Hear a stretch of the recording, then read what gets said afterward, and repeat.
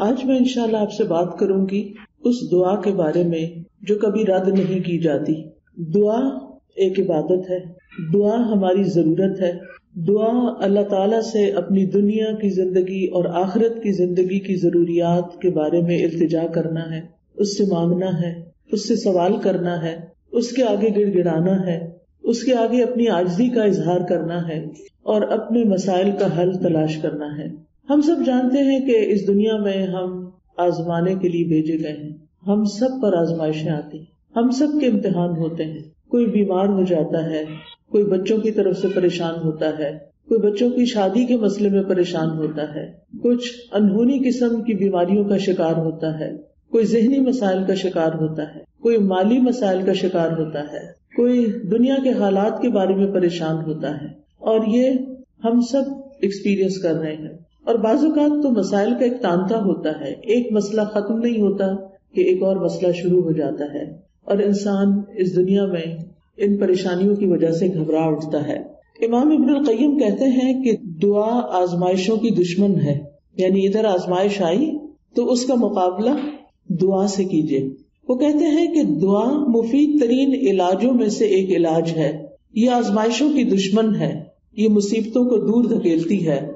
उनके साथ गुत्थम गुत्था होती है, उनके वाक़ होने को रोकती है और मुसीबतों को खत्म करती है। या मुसीबत वाक़ हो जाए तो उसको कम करती है। दुआ मोमिन का हथियार है, मुफीद तरीन दवा है।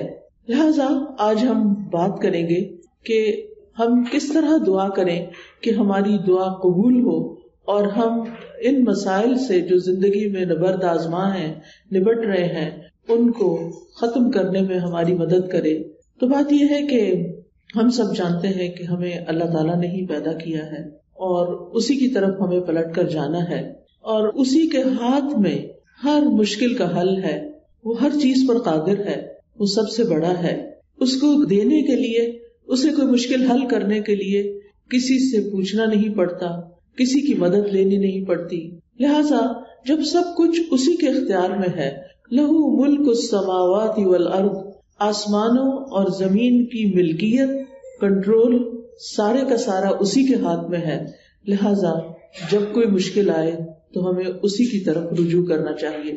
उलमा ने इबादत की, जो किस्म दुआ से मुतलिक बताई है, वो दो तरह की दुआ होती है, एक दुआउल इबादा और एक दुआउल मसला यानी, हमारी जितनी भी इबादतें हैं, नमाज़, रोजा हज, जक़ात, जितने भी अमाल हैं, इन सबको भी दुआ कहा जाता है, क्योंकि ये भी दरअसल हम अल्लाह सुबहान तला के हुजूर जब हाजिर होते हैं, मसलन नमाज़ में तो आप देखिए कि हम सीधे पे हाथ बाँध के भी दुआ करते हैं, हम समय अल्लाह हमिदा, के बाद रब्बना, वलकल हम हमदन कसीरन तय्यबन मुबारकन फ़ी अल्लाह आतईत वला मोहती मनात हम के बाद आखिर में फिर दुआ करते हैं।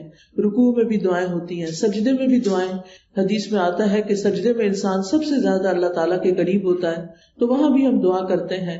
फिर अतहियात भी दुआओं के साथ दुरुज शरीफ भी दुआ है, बल्कि सारी दुआओं का खुलासा है। और इसी तरह कबूलियत का बेहतरीन वक्त दुरू शरीफ के बाद नमाज़ के अंदर दुआ करना है, जहाँ हम रब्बी जालनी और दीगर दुआएँ पढ़ते हैं। फिर इसी तरह रोज़े की हालत में दुआ कबूल होती है। इफ्तार के वक्त दुआ कबूल होती है। फिर हम हज पे जाते हैं तो हर हर मकाम पे दुआएँ कबूल होती हैं।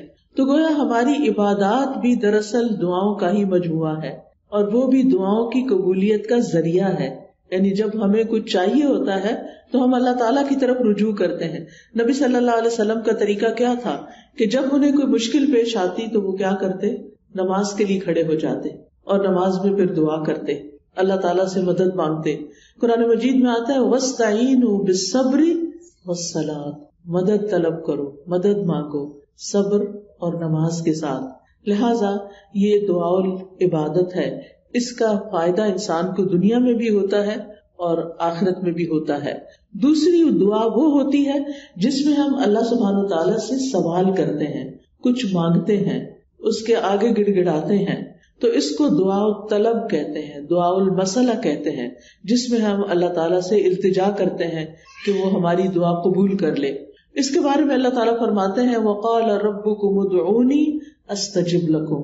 तुम्हारे रब ने कहा कि मुझको पुकारो, मुझसे मांगो, मैं तुम्हारी दुआ कबूल करूँगा। एक और जगह पर आता है सूरत अल बकरा में वह इदासा का इबादी अन्नी व इन्नी करीब। उजीब दावत दाई इदा दानी फलियस्तजीबू ली वलियुमिनु बी यरशुदून। और तुम्हारे रब ने फरमाया कि मुझसे दुआ करो, मैं तुम्हारी दुआ कबूल करूँगा। और जब मेरे बंदे आपसे मेरे बारे में सवाल करें तो बेशक मैं करीब ही हूँ। मैं पुकारने वाले की पुकार का जवाब देता हूँ, जब भी वो मुझे पुकारता है। तो गोया, अल्लाह सुबहान तआला बंदे के बहुत करीब है। फ इन्नी करीब, एक और जगह पर आता है इन रबी करीब मुजीब के बेशक मेरा रब करीब भी है और दुआ कबूल करने वाला भी है। लेकिन दुआ की कबूलियत के लिए क्या करना चाहिए? बोली वली उमिनूबी यरशुदून उनको चाहिए कि वो मेरी बात भी कबूल करें। यानी अगर वो ये चाहते हैं कि उनकी दुआ कबूल हो, उनकी बात कबूल हो तो फिर वो क्या करें? वो मेरी बात कबूल करें। मेरे अहकाम को भी कबूल करें।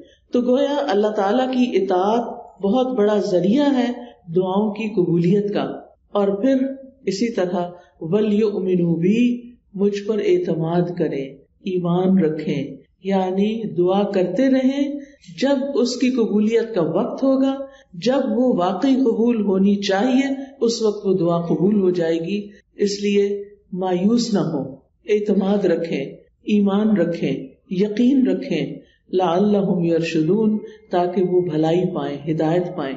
क्योंकि रुश्त जो होती है रुश्त उसमें हिदायत भी होती है और भलाई के मानों में होती है। यानी इंसान की अकल की दो किस्में होती हैं।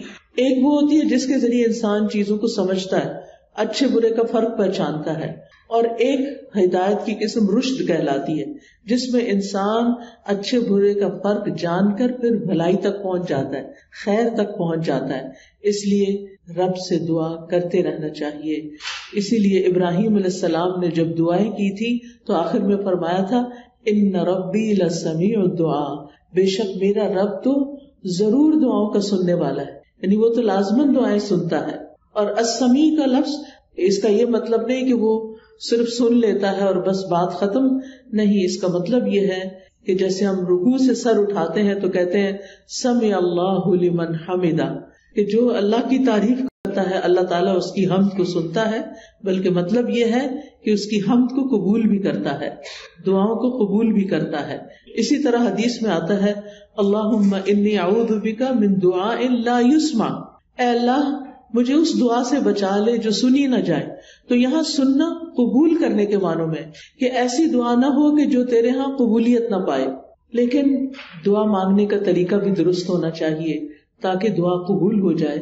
उसके बारे में अल्लाह ताला का फरमान है, सूरत अल आराफ में अल्लाह ताला फरमाते हैं उदू रब्बकुम तदर्रुअम व खुफिया, इन्नहु ला युहिब्बुल मुतदीन। तुम अपने रब को आजजी से और चुपके चुपके पुकारो। यानी दुआ मांगते हुए इंसान के अंदर आजजी होनी चाहिए खुशू होना चाहिए, इंसान को हम्बल होना चाहिए, अपने आप को रब के सामने मोहताज ज़ाहिर करना चाहिए, और फिर फरमाया, वला तुफसिदू फिल अर्द बाद इसलाहा दुआओं की कबूलियत चाहते हो? तो आहुजारी से पुकारो, चुपके चुपके पुकारो।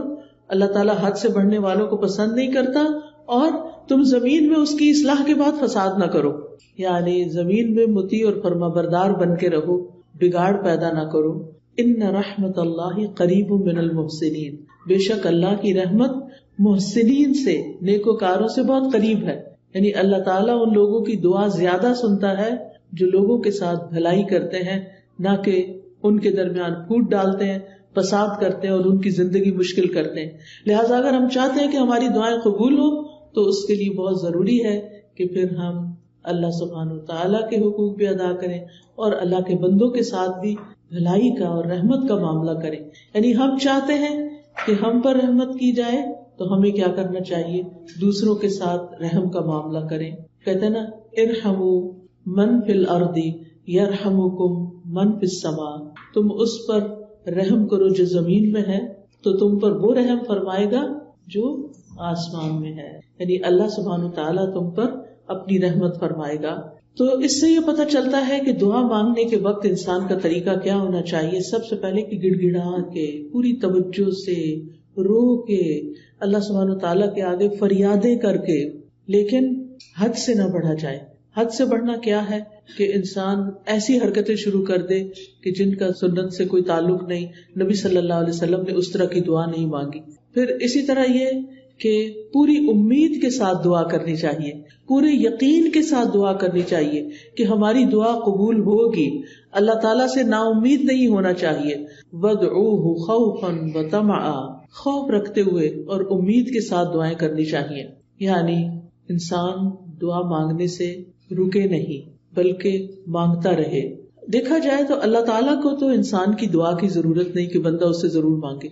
ये तो इंसान के अपने फ़ायदे में है कि इंसान अल्लाह से माँगता रहे।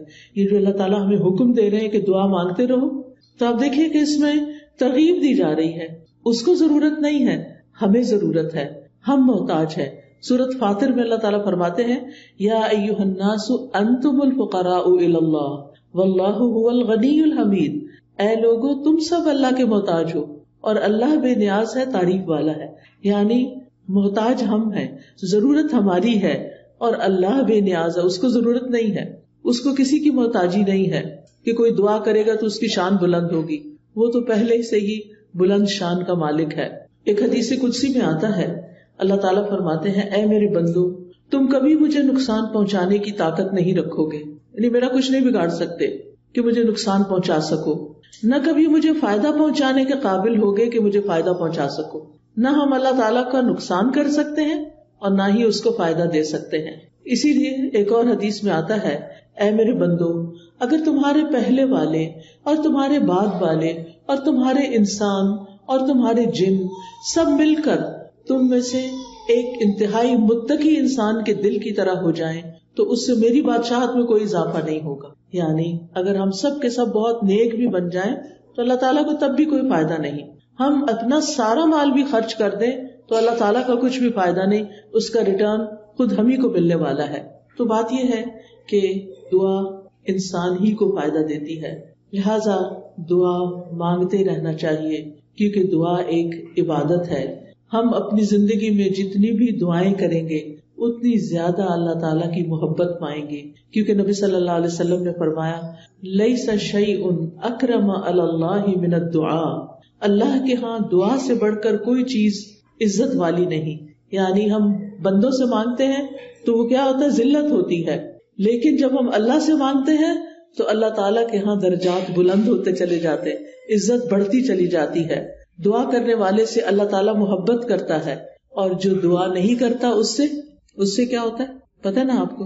अल्लाह ताला उससे नाराज़ होता है। जो दुआ नहीं करता, जो अल्लाह से नहीं माँगता, जो अल्लाह के सामने अपनी हाजत नहीं रखता, अल्लाह ताला उससे नाराज़ होता है। लिहाजा दुआ करने वाले अल्लाह के महबूब हैं और ना मांगने वालों से अल्लाह ताला नाराज़ होता है। दुआ ना करना तकबर की अलामत है। बाज को कहा जाता है, ना, दुआ करो। मैंने तो बहुत कर ली, कोई फ़ायदा नहीं हुआ। या कहते हैं, उसको तो पता ही है हमें क्या चाहिए? हमें क्या ज़रूरत है कि हम उससे मांगे? नहीं, हमें ज़रूरत है उससे मांगने की। और जब तक हम मांगते रहेंगे, हमारी नेकियों में इजाफा होता रहेगा और एक वक्त आएगा कि कबूल भी हो जाएगी। क्यामत के दिन, यानी हर दुआ कबूल होती है। कुछ दुआएँ दुनिया में उसी वक्त देर एंड देन कबूल हो जाती। कुछ दुआओं के बदले में अल्लाह ताला हमारी कुछ और खैर भलाई कर देता है, जो हम खुद मांग नहीं रहे होते। अल्लाह ताला वो चीज़ें हमें अता कर रहा होता है, जो हमारी उस दुआ की कबूलियत से ज़्यादा बड़ी ज़रूरत होती है। और कुछ दुआएँ हमारी आखिरत के लिए सेव कर दी जाती हैं। जब हमारे अमल में कुछ बहुत अच्छा नहीं होता, हमारे पास बहुत सारी नेकियाँ नहीं होती लेकिन हम किसी मसले में परेशान होते हैं और दुआएँ करते रहते हैं तो ये हमारी नेकियों में इजाफे का ज़रिया बन जाती है। और क्यामत के दिन अल्लाह ताला के हाथ जो बंदा उन दुआओं का अजर पाएगा जो दुनिया में कबूल नहीं हुई थी तो इंसान क्या तमन्ना करेगा? काश दुनिया में मेरी कोई दुआ भी कबूल ना हुई होती और आज सारे का सारा मुझे यही मिलता। हम सब जानते हैं कि दुनिया की ज़िंदगी जो है वो हमारी बहुत ही महदूद सी है। यहाँ अगर हमें सब कुछ भी मिल जाए तो भी हम देखते हैं कि या वो चीज़ खत्म हो जाती है हम चले जाते हैं दुनिया से। यानी कुछ भी तो यहाँ बाकी रहने वाला नहीं।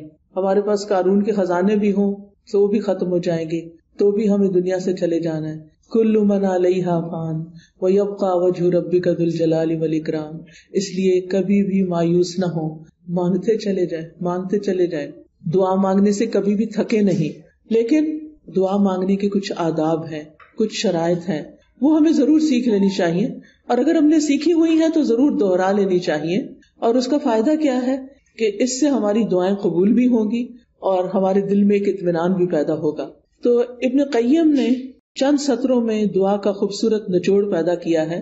वो कहते हैं कि वो कौन सी अहम चीज़ें हैं जो किसी इंसान को दुआ करते हुए मालूम होनी चाहिए और उसके आखिर में उन्होंने ये जुमला कहा है पूरे यकीन के साथ कि जो इन शरात को पूरा करके दुआ करेगा, वो दुआ कभी रद्द नहीं होगी। यानी उसकी दुआ कभी रद्द नहीं होगी। तो आज का मौजू भी यही है कि वो कौन सी दुआ है जो रद्द नहीं होती? यानी वो किस तरीके से मांगी हुई दुआ है जो ज़रूर कबूल हो जाती है? और ये बातें उन्होंने अपनी किताब अल जवाबुल काफ़ी लिमन दवा शाफी उर्दू में भी किताब आपने इसका तर्जुमा देखा होगा। दवाए शाफी के नाम से। हो सकता है आप में से कुछ लोगों ने ये किताब पढ़ी हो। बहुत ही अच्छी किताब है, पढ़ने के लायक है। मैं समझती हूँ जिसने ज़िंदगी में ये किताब नहीं पढ़ी, उसके इल्म में बहुत बड़ी कमी है। उर्दू में ये किताब, इंग्लिश में भी कुछ मुख्तसर सी शायद ट्रांसलेशन है। असल किताब अरबी में है। अगर आपको उर्दू नहीं भी समझ आती, नहीं पढ़ सकते तो कम अज कम आप इसके ऑडियो लेक्चर सुन सकते हैं। कुरान फॉर ऑल एक ऐप है जिसमें दवाई शाफी के सारे लेक्चर्स रिकॉर्डेड मौजूद हैं। उसमें से एक एक लेक्चर अगर आप करके सुनेंगे तो किताब खत्म हो जाएगी ऑडियो बुक है वो, और छोटा छोटा मैंने एक्सप्लेन भी किया हुआ है उसमें। तो उससे आपको ज़िंदगी गुजारने के बहुत सारे पुरहिकमत ऐसे नुकते मिलेंगे कि जिनको अपना के आपकी ज़िंदगी में एक इतमान और सुकून पैदा हो जाएगा। तो बहरहाल, इस किताब का तर्जुमा इलनेस एंड द क्योर के नाम से भी आप देखिएगा ज़रूर। तो दुआ की कबूलियत के असबाब कौन से हैं? अगर आपके पास कापी पेन हो तो अपने पास नोट कर लीजिए, और अगर नहीं तो दिल पे लिख लीजिए। सबसे पहली चीज़, दिल का हाजिर होना। यानी दुआ की कबूलियत के लिए सबसे अहम तरीन चीज़ क्या है? कि दिल की हुजूरी के साथ दुआ की जाए। यानी मकसद को हासिल करने के लिए मकसद को पहले अच्छी तरह समझ लेना चाहिए कि मांगना क्या है। फिर मांगने के लिए अल्फाज क्या होने चाहिए? क्योंकि आप देखिए, जितने अच्छे अल्फाज से आप मांगते हैं ना, और जितने प्यार से मांगते हैं, जितनी आजजी से मांगते हैं तो जो आप मांगते हैं वो आपको मिल जाता है। आप किसी इंसान से भी, किसी बच्चे से भी, मसलन बाजू का ऐसा होता है ना, बच्चा आपकी कोई चीज़ उठा के भाग जाता है तो आप उसे कहते हैं, इधर आओ, वापस लाओ। तो क्या होता है? वो और दूर भागता है। लेकिन अगर आप प्यार से उसको कहते हैं अच्छा ये देखो, इधर आओ, मेरे पास ये चीज़ भी है तुम्हारे लिए। आओ तो वो उस चीज़ को देखता है तो वो फ़ौरन आ जाता है। तो जो प्यार की बात होती है ना, मोहब्बत की बात होती है, और तवज्जो से बात जो की जाती है, उसका असर ही कुछ और होता है। बाजुकात हम ऐसे कहते हैं, हमारे हाथ में फ़ोन होता है और हम किसी से बात कर रहे होते हैं तो वो दूसरे को कोई असर नहीं होता, बच्चे उस बात का कोई असर नहीं लेते। तो तवज्जो, दिल की हुजूरी, अच्छे अल्फाज और गफलत से बाहर आके अच्छे से मांगना क्योंकि हदीस में आता है, वालमू अल्लाह ला यस्तजीबु दुआ मिन कल्बिन गाफिल लाहिन. जान लो, बेशक अल्लाह गाफिल और लाभ लाभ यानी खेल कूद में मुबतला दिल की दुआ कबूल नहीं करता। यानी ध्यान हमारा कहीं और लगा हुआ है, कान हमारे कहीं और लगे हुए हैं, और हम सिर्फ़ जबान से कोई किताब उठा के, आजकल तो बहुत सहूलत हो गई है ना, कि खुद से सोचना भी नहीं पड़ता क्या मांगना है। बस बुक उठाई दुआओं की या कोई कार्ड उठा लिया, या फिर कोई ऐप खोल ली और लफ्ज पढ़ना शुरू कर दिए। ठीक है, वो भी दुआएँ हैं, लेकिन उनको भी सलीके से पढ़ने की ज़रूरत है। उन पर भी जब आप पढ़ते हैं ना तो सिर्फ़ ऐसे नहीं कि कुरान की तिलावत कर रहे हैं, बगैर सोचे समझे तो दुआएँ भी बगैर सोचे समझे पढ़ते चले जाए। ऐसा नहीं करना, बल्कि जो कुछ बोल रहे हैं, उसको समझना भी है। क्या मांग रहे हैं? क्यों मांग रहे हैं? लिहाजा हमें गफलत से निकलना है दिल हुजूरी के साथ मांगना है डिस्ट्रैक्शन से बचना है। जो आपकी खास खास दुआएँ ना, वो ऐसे वक्त में किया करें जब डिस्ट्रैक्शन ना हो। क्योंकि बाजू का आप दुआ मांग रही हैं, और इधर से बच्चा आपको खींच रहा है, उधर से फ़ोन बज रहा है, उधर से कोई घर के बाहर खड़ा है, उधर से आपको खुशबू आ रही है कि हड्डियाँ जल रही है। अब आप सोचे, क्या दुआ मांगी जाएगी? कैसी दुआ होगी वो? और फिर उसमें कबूलियत क्या होगी? जब आपको खुद ही पता ना हो, कान कहीं लगे, आँखें कहीं लगे, नाक कहीं लगे, क्या पता चलेगा क्या मांगा, क्या नहीं मांगा। लिहाजा, ऐसे वक्त में मांगे, जब आप अकेले हो, तनहा हो, आप और आपका रब हो, फिर आप उसे चुपके चुपके सरगोशियाँ करें। इजनादा रब्बहू निदा अन खफिया। जकरिया सलाम ने अपने रब को पुकारा था, चुपके चुपके, खुफिया खुफिया। उदो रब्बकुम तदर्र अम खुफिया। आजजी और जारी भी हो और चुपके चुपके मुनाजातें भी हों, क्योंकि दुआ करते वक्त जज्बात भी साथ होने चाहिए। यानी अल्लाह की रहमत को महसूस करना चाहिए, अल्लाह का शुक्र अदा करना चाहिए कि उसने तौफीक दी है। और फिर इस यकीन के साथ कि अल्लाह बड़ा मेहरबान है, रहम फरमाने वाला है, वो इस वक्त भी सुन रहा है, वो मेरे दिल की हालत जानता है, और वो वो कुछ दे सकता है जो मैं मांग रही हूँ। जब आप बंदों से कुछ मांगते हैं ना तो बाजुकत उनके पास होता भी है वो नहीं देते। लेकिन अल्लाह ताला जब देते हैं तो उसके खजानों में तो कमी होती ही नहीं। बंदों को तो ये खौफ होता ना, हमने दे दिया तो हमारा क्या बनेगा? हर दफ़ा ऐसे ही होता ना, कोई हमसे कुछ मांग ले तो पहले हम सोचते हैं, हमारा काम चलेगा देने के बाद। बस उतना ही देते हैं जितना हम बस देना चाहते हैं, उससे आगे नहीं। अल्लाह सुबहान तला के खजाने भरे हुए हैं। जब से ज़मीन आसमान बना है, वो खर्च किए चले जा रहा है, लेकिन उसके खजानों में कतरे बराबर भी कमी नहीं हुई। कतरे बराबर भी कमी नहीं हुई उसको क्या फ़र्क पड़ता है? और जब हम ये जानते हैं कि ज़मीन आसमान की हर चीज़ उसके कंट्रोल में है, वो बादशाह है, वो मालिक है, और वो देने में पूरी तरह कादिर है तो फिर हम इस उम्मीद के साथ मांगे कुरान मजीद में आता है कि वह इमिन शईन खजा इनहू व मानुजिलहू इल्ला बेकदर मालूम। कोई चीज़ ऐसी नहीं यू नेम इट कि जिसके खजाने हमारे पास ना हो। लेकिन हम उन खजानों में से कितना कितना देते हैं, कितना कितना उतारते हैं? एक मालूम अंदाजे के मुताबिक, एक मुकर्र अंदाजे के मुताबिक, क्योंकि अल्लाह ताला अल हकीम भी है। उसको पता है किस इंसान को कब कौन सी चीज़ देनी चाहिए, क्योंकि वो हमारे बारे में हमसे ज़्यादा जानता है ना, कि अगर मैंने इसकी दुआ कबूल कर ली और इसको वो मिल गया जो चाहता है, फिर ये मुझे भूल जाएगा। और मुझसे गाफिल होना और भूलना इस बंदे के हक में नुकसान दे। लिहाजा बेहतर है कि इसकी दुआ अभी कबूल ना की जाए, ये कुछ और मांग ले।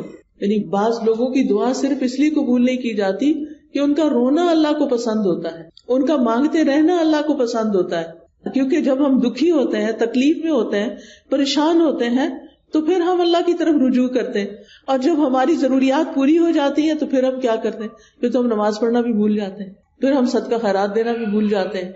लिहाजा अल्लाह सुबहान तला हमें किसी न किसी मुश्किल में डाले रखता हमारे फ़ायदे के लिए, हमारी भलाई के लिए, ताकि हम अल्लाह ताला की तरफ़ रुजू करते रहें। नबी वसल्लम ने फरमाया उदुल्लाह व तुम अल्लाह से मांगो इस यकीन के साथ कि तुम्हारी दुआ ज़रूर कबूल की जाएगी। पूरा यकीन हो। लिहाजा जब आपको यकीन आएगा ना तो गफलत भी दूर हो जाएगी। दुआ में दिल हाजिर रहेगा। और आप इस तरह दुआ के कबूलियत की पहली शर्त पूरी कर देंगे। दूसरी चीज़ जो है वो डिस्ट्रैक्शन है। डिस्ट्रैक्शन का मतलब यह है कि इंसान कभी कहीं देखे, कभी कहीं देखे, कभी कुछ सोचे, कभी कुछ सोचे, और जो मांग रहा है उसकी खबर ना हो उसको। तो हमें समझ कर दुआ करनी, समझ कर। यानी ये दूसरा अहम नुकता है। हाजिर दिल के साथ और समझ कर। क्योंकि अगर पता ही नहीं मांग के आ रहे हैं तो फिर क्या फ़ायदा? और फिर यह है कि अगर अरबी में दुआ मांगनी नहीं आती तो उल्टे सीधे लफ्ज पढ़ के ना मांगे। उर्दू में मांग ले, इंग्लिश में मांग ले, पंजाबी में मांग ले, जो आपकी जबान है उसमें मांग ले। तो आपके लिए कुछ मुश्किल नहीं है। अल्लाह ताला को सारी जबानें आती हैं। एक हम हैं। हमारे लिए रिस्ट्रिक्शन हमारी लिमिटेशन हैं। हमें एक जबान आती है तो दूसरी नहीं आती, अंग्रेज़ी आती है तो फ्रेंच नहीं आती? हम्म? उर्दू आती है तो पंजाबी नहीं आती बच्चों को। तो कितनी लिमिटेशन है हमारी?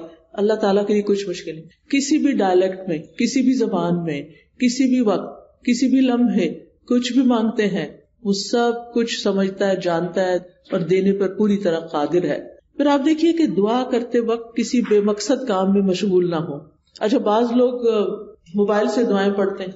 ठीक है, सहूलत के लिए पढ़ सकते हैं आप। अब क्या होता है? इतने में ऊपर एक नोटिफिकेशन आ जाता है। अच्छा आधी दुआ पड़ी आधा मैसेज पड़ा ना उधर के, ना उधर के। मल्टीटास्किंग हो रही। दुनिया के कामों में तो मल्टीटास्किंग आप कर सकते हैं। लेकिन अल्लाह ताला के यहाँ तो बस एक वो है, उसको एक मानते हुए बस वो इसमें भी, ये भी शरीक करना पसंद नहीं करता कि जब हम उससे बात कर रहे हो तो हम औरों के बारे में सोच रहे हो।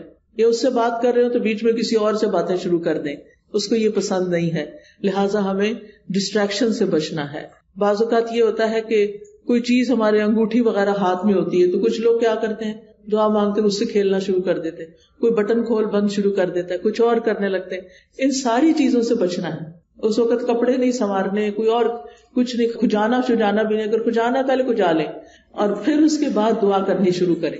यानी 100 परसेंट आपकी तवज्जो दुआ की तरफ़ होनी चाहिए। हमारे असलाफ में से किसी ने एक शख्स को देखा कि दुआ कर रहा था और साथ कंकरियों से खेल रहा था। उन्होंने कहा, ये कंकरियाँ फेंक दो और अपनी दुआ पे तवज्जो करो। दुआ करते हुए तुम्हारा दिल और आजा सारे पूरा जिस्म उस तरफ़ मुतवजह होना चाहिए। तो ये थी पहली शर्त, ठीक है? दूसरी शर्त या दूसरा नुक्ता या दूसरा अदब क्या है? कबूलियत के छह औकात में से किसी वक्त में दुआ करना। अब कबूलियत के छह औकात कौन से मैं अभी आपको बताती हूँ। ये छह औकात ऐसे हैं जिनमें दुआ कबूल हो जाती है और कभी रद्द नहीं होती।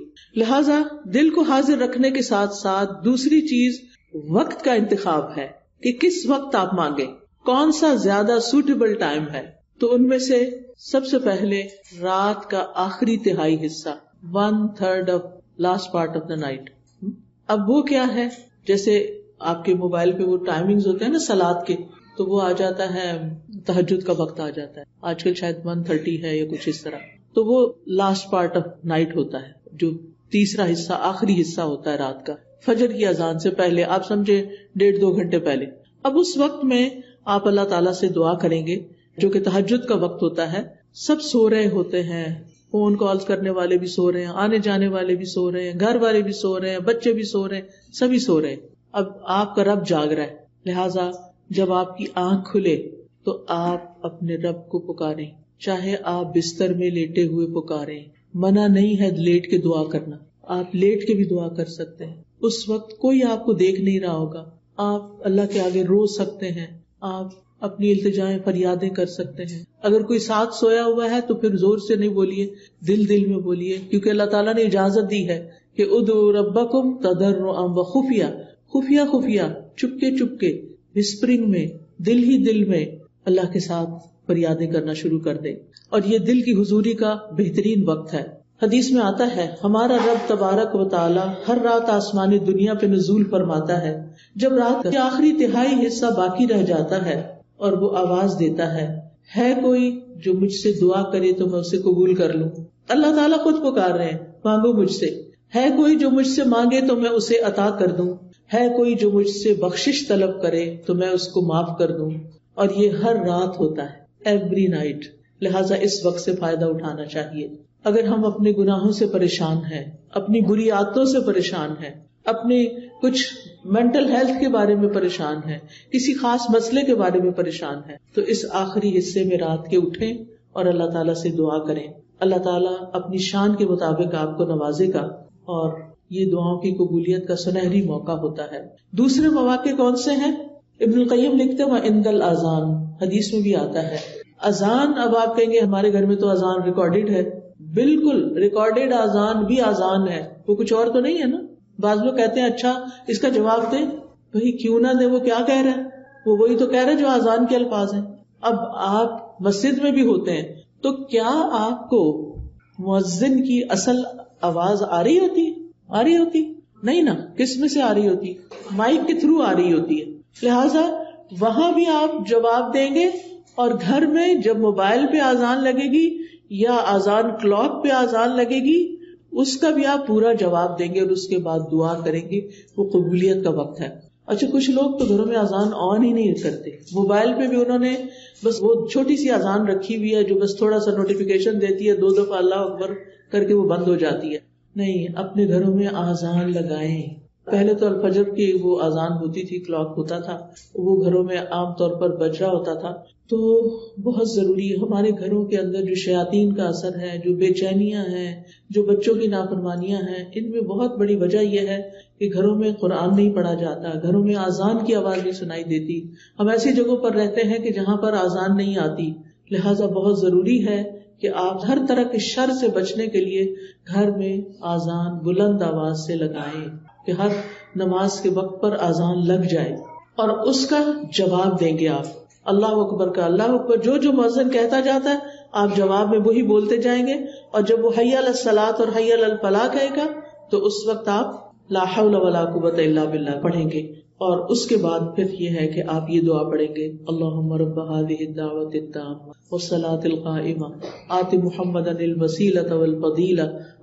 मकाम महमूद और फिर दुरू शरीफ पढ़ के जो दिल में है आपकी मांगे अल्लाह से इनशाला आपकी दुआ कबूल होगी। और फिर उसके बाद यह है कि दुआ की कबूलियत का तीसरा वक्त आजान और इकामत के बीच में।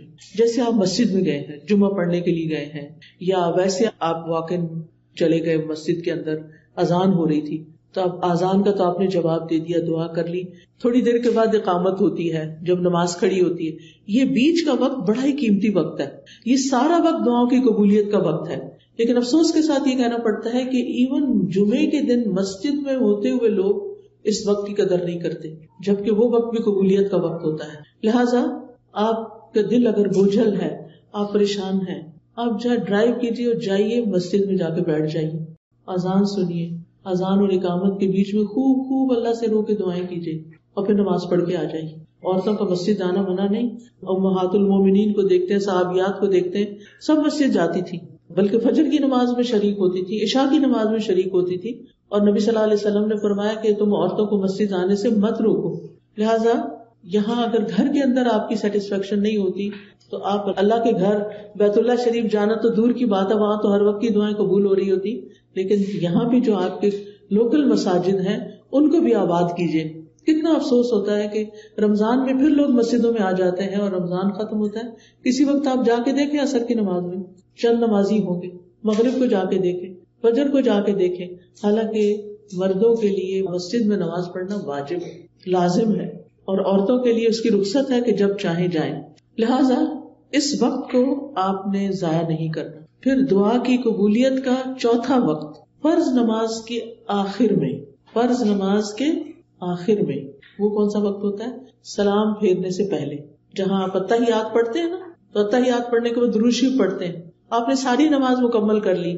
अब आप उस वक्त सिर्फ़ रब्बी जल नहीं पढ़ के सलाम ना फेर दें। वो भी पढ़े। और उसके अलावा आपकी जो भी दुआ है दिल में, उर्दू में नहीं मांगे? हुँ? हम्म?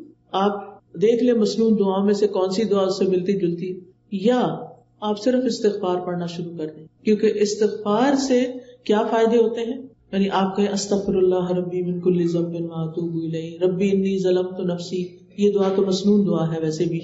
रब्बी इन्नी ज़लमतु नफ्सी ज़ुल्मन कथीरन वला तो ये दुआ आप पढ़ सकते हैं। और दिल में अपनी हाजत रखें। सूरत नूह अगर आप पढ़े तो उसमें आता है कि नूह सलाम ने अपनी कौम को बहुत समझाया था और कहा था, मैंने अपनी कौम से कहा कि अपने रब से इस्तफार करो। इस्तफार का मतलब होता है अपने गुनाहों की माफ़ी मांगो। फ़ायदा क्या होगा? युरसिलकुम मिदरारा। तुम पर आसमान से मूसलाधार बारिशें बरसाएगा। आज आप देखें कि कनाडा का क्या हाल हो गया है। कितना ड्राउट हो गया है। कितने अरसे से ढंग से बारिश नहीं हुई। हम इसको फॉर ग्रांटेड लेते हैं, क्योंकि हर थोड़े दिन बाद बारिश, हर थोड़े दिन कभी स्नो हो रही है, कभी बारिश हो रही हम समझते थे ये हमारा हक है। लेकिन अब आप देखें महीना हुआ है, मुझे वापस आए हुए, और मुसलसल धूप निकल रही है, या बादल आ रहे हैं, हल्की फुल्की फुहार पड़ती है और बात खत्म हो जाती है। कितनी जगहों पर आग लगी हुई है, और उसकी पोल्यूशन यहाँ तक, उसका धुआँ स्मोक यहाँ तक आ रहा है, और लोगों के गले खराब हो रहे हैं। और क्या कह रहे हैं माहरीन कि इसका हल सिर्फ़ बारिश है। बारिश होगी तो ये आग बुझेगी। उनके पास कोई तरीका, ज़रिया नहीं है आग बुझाने का। तो आप खुद सोचिए कि हम सबको इज्तमाही इस्तफार करनी चाहिए। हम ये ना सोचे कि सब कुछ है, कि क्या फ़र्क पड़ता है, अगर नहीं भी बारिश तो। अच्छा मौसम है, बाहर छतरी नहीं लेके जानी पड़ेगी, पार्क में जाके बैठेंगे, धूप में बैठे। नहीं, बारिश की इंसानों को, जानवरों को परिंद चरिंद, हर एक को ज़रूरत होती पौधों को हमारी ज़रूरत है। हम सबको ज़रूरत है। अगर पानी की सतह नीचे चली जाए तो आप देखें कि खेत वीरान हो जाते हैं। लिहाजा अल्लाह सुबहान तला से इस्तफार करना है। और फिर आसमान से बारिशें बरसने के अलावा क्या है? तुम्हारे लिए माल और औलाद होगी। यानी तुम्हें माल भी मिलेगा, अगर किसी को अपने फाइनेंशियल प्रॉब्लम्स है, वो भी कसरत से इस्तफार पड़े या औलाद की तरफ़ से कोई परेशानी है? बच्चे हैं नहीं। बच्चे हैं लेकिन बीमार हैं। बच्चे हैं लेकिन बात नहीं मानते। बच्चे हैं लेकिन शादी नहीं हो रही। कोई भी मसला औलाद से रिलेटेड है तो क्या करे? इस्तफार की कसरत कर दे, अपने गुनाहों की माफ़ी मांगते चले जाए। और वह जाल को मनहारा तुम्हारे लिए नहरें जारी कर देगा अल्लाह ताला। बागात होंगे, नहरें होंगी। तो जब फ़र्ज़ नमाज़ खत्म करें तो उससे पहले कम अज कम एक दफ़ा इस्तफार ज़रूर पढ़ लें। अल्लाह मगफिरली जम्बी कुल्लहू, दिक्कहू जिल्लहू।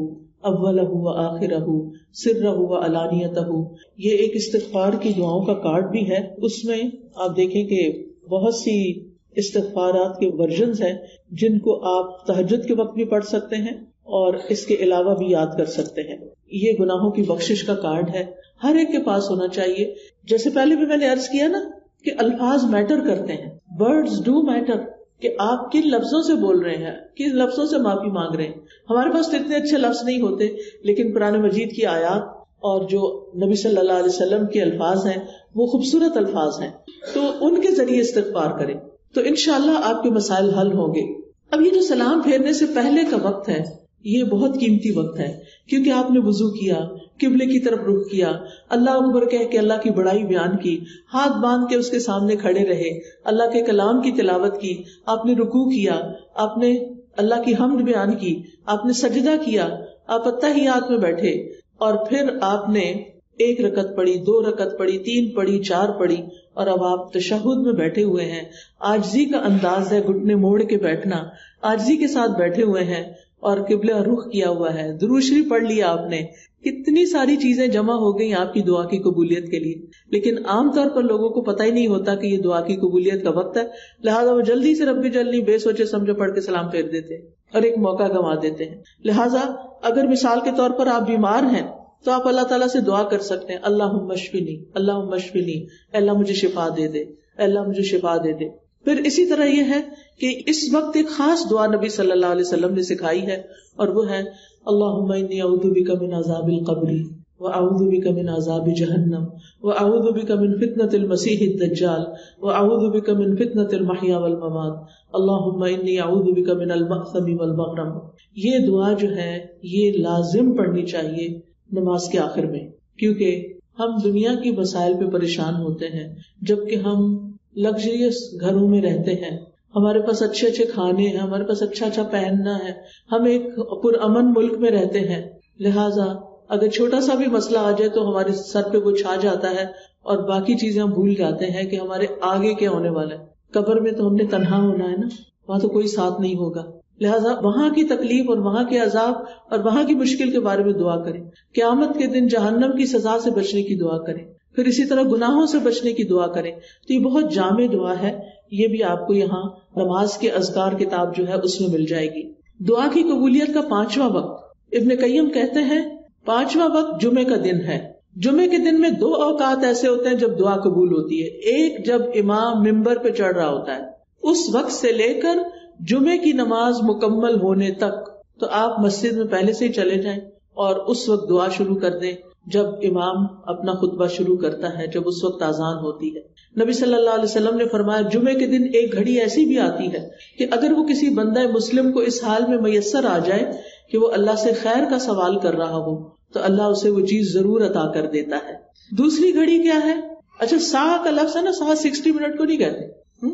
ये कम भी हो सकता है, ज़्यादा भी हो सकता है। शेख सालमीन कहते हैं कि ये तकरीबन फोर्टी फाइव मिनट है, ठीक है? और इसके अलावा असर से लेके मगरब तक का वक्त, दुआओं की कबूलियत का वक्त है जुमे के दिन। लिहाजा, अगर आपकी कोई हाजत है, आपकी कोई परेशानी है तो आप इस वक्त को भी इस्तेमाल कर सकते हैं।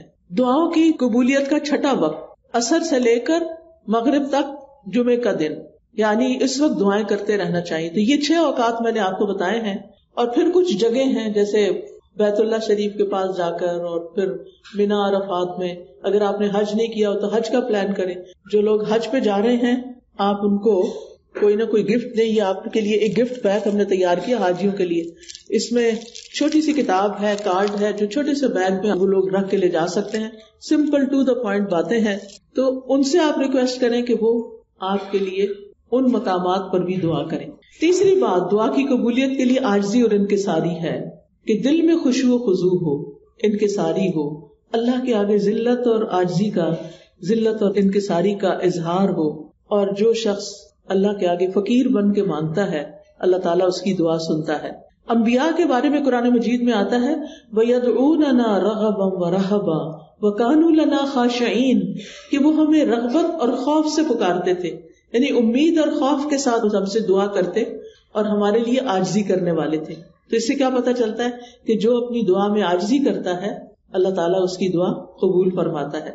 खुशबू का क्या मतलब होता है? खुशबू वो खौफ होता है जो दिल में रासिक होता है। आमतौर पर लोग लफ्ज खुशबू बोलते हैं, लेकिन उसका मतलब नहीं जानते। खुशबू क्या है? अल्लाह का ऐसा खौफ जो दिल में जम गया है, दिल में रासिक हो गया है।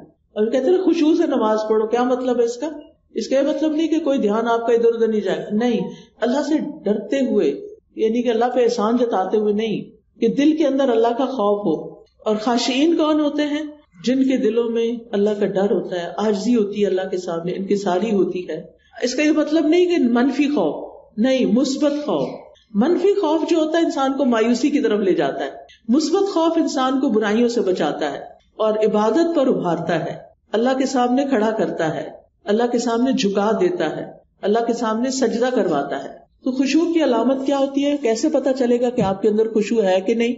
उसमें दिल नरम हो जाता है। इंसान रोने लगता है अल्लाह के आगे। यानी दुआ में रोना भी चाहिए। दिल नरम होना चाहिए। गाफिल नहीं होना चाहिए। और फिर दुआ में दिल भी लगे। दुआ लंबी हो जाए। ये भी खुशबू की अलामत होती है। और आपको यूँ लगे जैसे आप अल्लाह से बातें कर रहे हैं।